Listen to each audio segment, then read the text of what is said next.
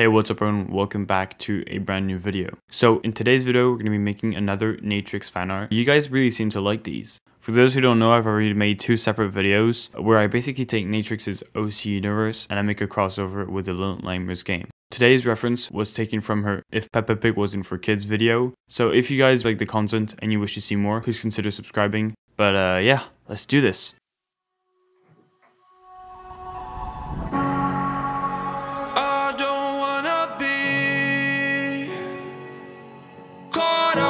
Inside your self-righteous symphony.